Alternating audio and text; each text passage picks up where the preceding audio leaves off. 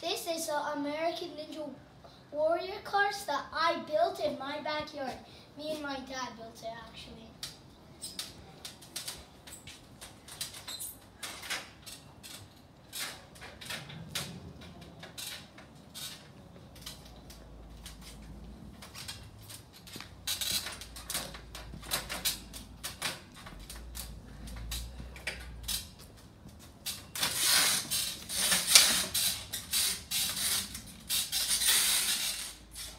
This is the worst wall.